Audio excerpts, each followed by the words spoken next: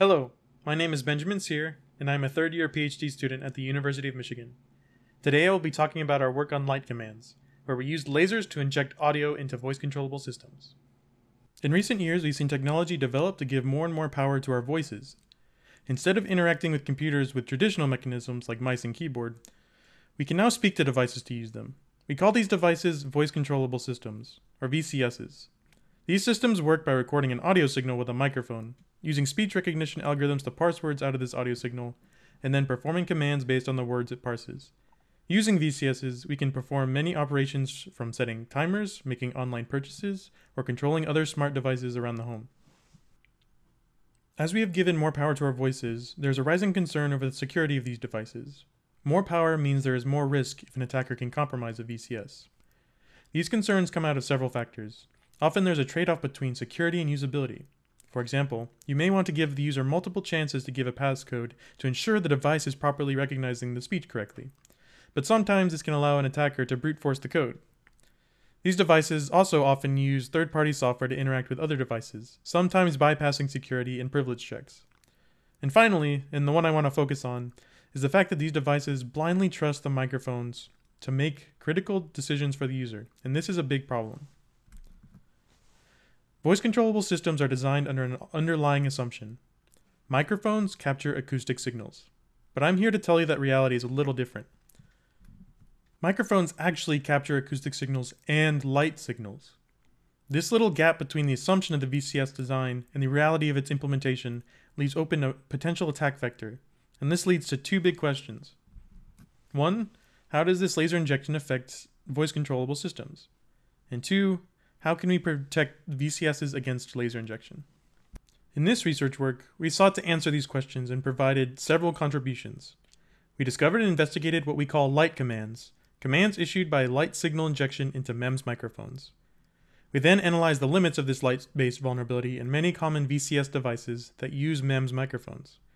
We found that in some devices, we can inject a command 110 meters away with the equivalent power of a laser pointer, and show that this works through glass windows and between buildings. We then demonstrate the risks that this attack can have on smart speakers, smartphones, smart home devices, and cars with remote access. And finally, we suggest potential countermeasures to defend against this attack. To look at how we inject light signals into microphones, we first need to look at MEMS microphones, the microphones most used in voice controllable systems. Most VCS devices have acoustic ports visible on the outside of the device.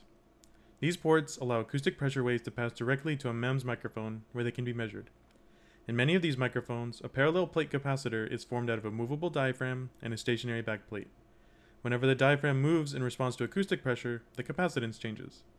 This change is converted to a voltage signal by the onboard ASIC. In our experiments, we have found that these microphones do not only measure acoustic signals, but are sensitive to light signals. In particular, the output voltage of the microphone is affected by light irradiance, which can be thought of as the optical power density of the light. By firing a focused laser beam into the acoustic port, we can inject arbitrary signals into the microphone simply by modulating the optical power of a laser, or in other words, changing the brightness of the laser beam. These are the three key ideas of laser signal injection. 1. Amplitude modulated light generates a voltage on the microphone output. 2.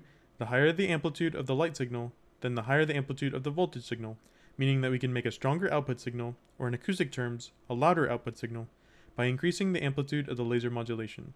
And 3. The conversion of light signal into voltage signal adds very little distortion within the range of audio frequencies, allowing arbitrary audio signals to be injected. These insights are what make the attack possible. But how is this working? Well, our current theory is that this light injection is the combination of two different physical effects.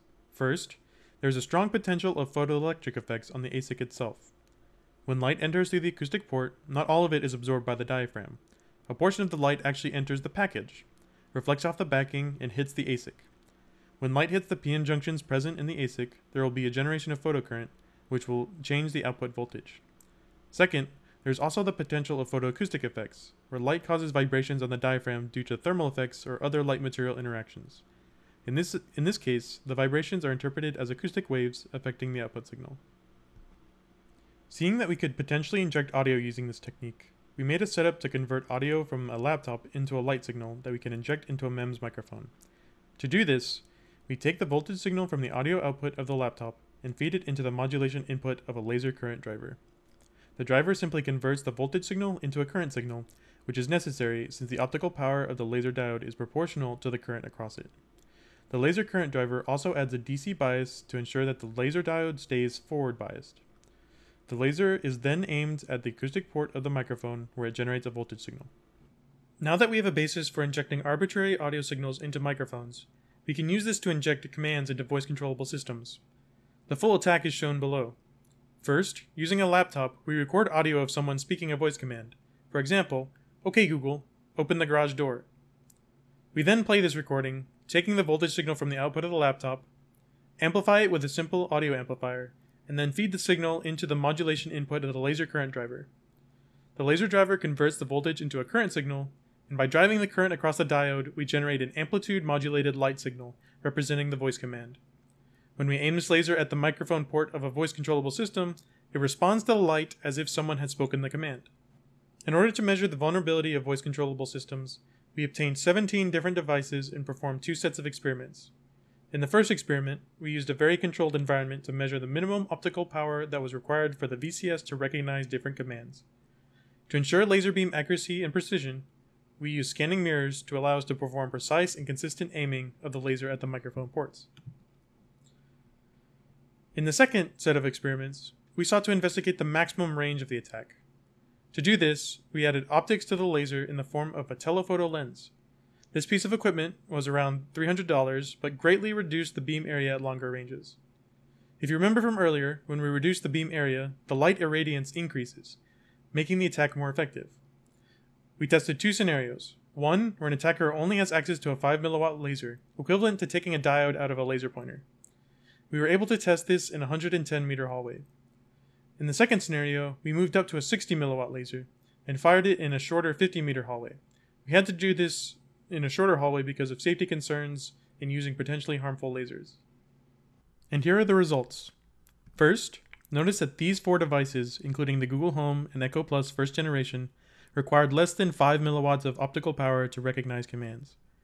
We could inject signals into two of these devices at the maximum range of our 110 meter hallway. Next, notice that the majority of the remaining devices were all vulnerable at the max range of 50 meters at the higher power 60 milliwatt laser. This includes the more modern Echo Dots and the Google Nest camera. Finally, the results show that phones and tablets are the least vulnerable to these attacks, where we can only affect them at a range between 5 and 20 meters. After seeing we could inject signals from long range, we moved on to perform a cross-building attack to demonstrate how a real-world attack may look. We took our setup to a bell tower 70 meters from our office building, where we placed a Google Home in the office behind a glass window. We used a telescope to aim and focus. And here you can see the demonstration of the attack. Uh, from up top in the tower, we're injecting the command, OK Google, open the garage door. We're injecting it into the laser, where it's being focused by the telephoto lens and aimed at a Google Home in an office building 70 meters away. Uh, we're aiming directly at the microphone port and through a window. So let's hear it responds. Okay, opening. And it heard it. If you want to see more, our other demos and videos are posted at lightcommands.com. So what are the consequences of this attack? Well, since we can inject arbitrary commands into a VCS target, the consequences depend heavily on the power of the victim's voice.